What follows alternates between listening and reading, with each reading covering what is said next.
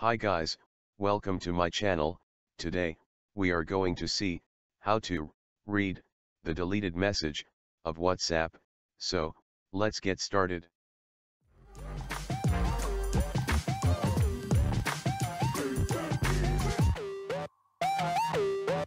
First, open WhatsApp, now, you can see, a sample message, from my friend. Then, that message, is deleted, so, it is, not visible to me, now. So, to read, the deleted message, go to Play Store. And, search for, Noti, Save.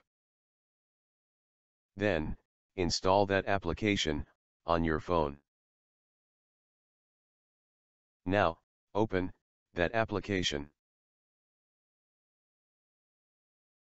And click Allow, to allow access to notification.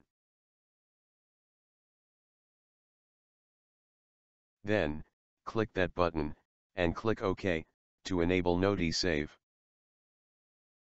Then, the app, list, will be loaded. In that, app list, make sure that, WhatsApp, is turned on. Then, come to, home screen, of the Noti Save app.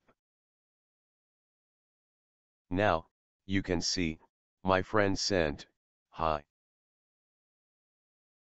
And then, he deleted that message. But, I was still, able to read, that deleted message, through this technique. And again, for demo purpose, sending and deleting some message.